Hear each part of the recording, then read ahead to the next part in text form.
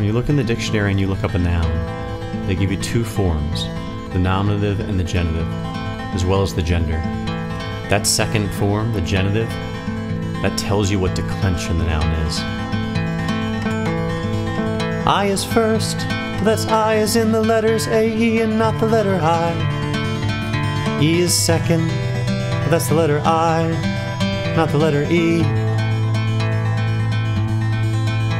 So, I is first, E is second, and Is is third. Us is fourth, E is fifth. Declension. I is first, E is second, and Is is third. Us is fourth, E is fifth. Declension. You know a noun's declension, you know what endings it will be using.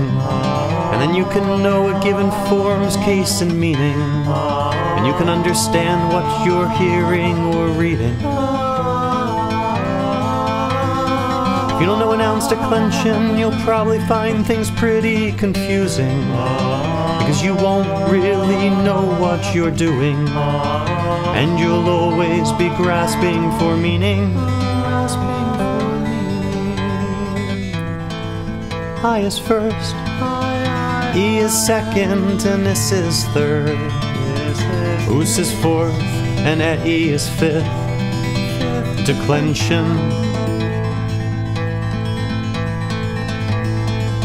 I is first, E is second, and Is is third. Us is fourth, at E is fifth. Declension. If you know a noun's declension, you'll understand what endings it's using. And you'll understand a given form's case and meaning. And you'll understand what you're hearing or reading. But if you don't know a noun's declension, you'll probably find things pretty confusing. Because you won't really know you're doing. And you'll always be grasping for meaning.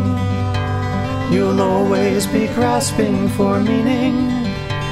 You'll always be grasping for meaning. You'll always be grasping for.